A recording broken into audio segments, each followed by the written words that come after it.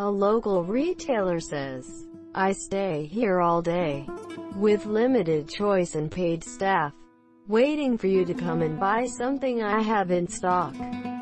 The local retailer depended on two groups of people those who needed or wanted practical service. The ability to perceive things and the ability to speak. The online store says, I can serve a metropolis with the same people, not several thousand. And since there is only the first group left, most local retailers are lost in people who didn't demand it but didn't have a choice because they didn't have any other options. Of course, I have a much larger stockpile, but my rent and staff costs are very low. The answer is not as cheap as on the Amazon. When it went online, the second group was overwhelmed.